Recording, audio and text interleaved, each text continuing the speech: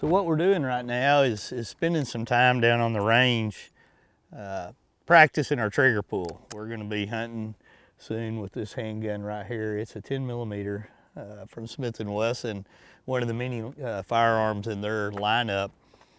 And my goal when I come down to the down to the range is always to kind of simulate my hunting scenarios, practice, you know, the different things that I, I'm gonna anticipate happening while I'm out there. I'm gonna be hunting on this one, uh, depending on what the deer are doing, probably in a ground blind, maybe even sitting on the ground behind some brush.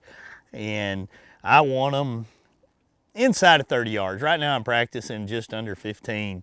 Uh, I've got open sights, you know, and, and, I'm trying to learn some new ammo that I uh, recently picked up. I mean, we're all dealing with an ammo shortage, so you kind of got to take what you can get right now and, and practicing. And, and, right now I'm shooting a little high and a little left. And you know, open sights is a different challenge. For some people it's easy, for some people it's, it's, it's hard. But as I learn a little bit more about this handgun, the ammo and what I can personally do with it, I'll dial it in and, and we'll head out into a hunting scenario and, and see how this performs. I know it's gonna perform very well as long as I don't mess it up when it's all said and done. Well, good morning. We've got the 610 Classic in 10 millimeter from Smith & Wesson in our hands today, and we're either going to try to take a doe or a hog to fill the freezer with a little bit. This is a great handgun for hunting know, personal defense and just fun shooting. I've actually got the six and a half inch barrel right here because I like it. It's going to give you the maximum amount of velocity that you can get. Um, out of this round, I feel. And we've also kind of tweaked this a little bit. We've added a high vis sight as well for when we're in a hunting situation.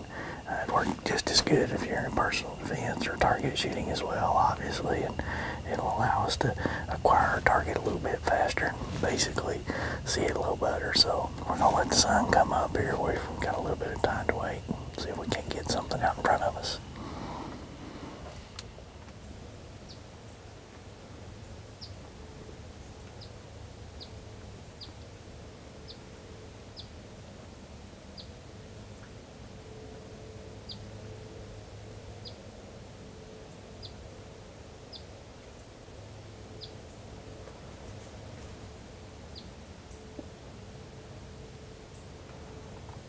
Unfortunately, this morning it was all young deer, or deer that either stayed just out of Wade's comfortable range or behind the brush, so Wade's going home empty handed. But hey, that's hunting.